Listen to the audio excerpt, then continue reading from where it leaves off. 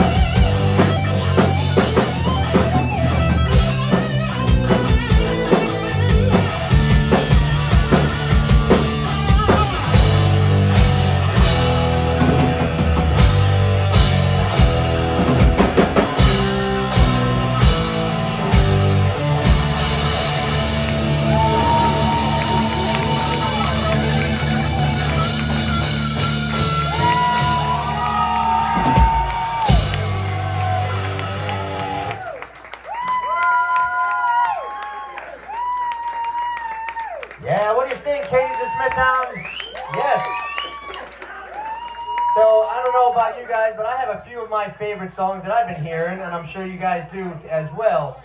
So we have one more date on the calendar to make sure that you keep, and that is June 6th. We're going to have our best of season showcase. We're going to be rocking the parking lot, right in the School of Rock parking lot, and you will hear each and every student that is on our hair metal show will be a part of that show. So you're going to hear some of your very best hair metal songs and some of our very best songs from all of our other full performances. And they are going to be competing and dwindling it down for a best song of the season on that day.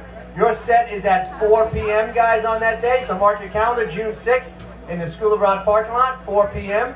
And we have some really special treats. We have our grad band playing that afternoon. And back out of a almost two-year break, the School of Rock staff band is going to be having their performance right before your set. So somewhere around 3 o'clock, 3.30, make sure you're down there early and catch the School of Rock Port Jefferson, some of your favorite staff members, including Mr. Chris Schmidt, their show director. He'll be performing. So you guys want to hear some more hair metal out there, Katie's? All right, let's do it.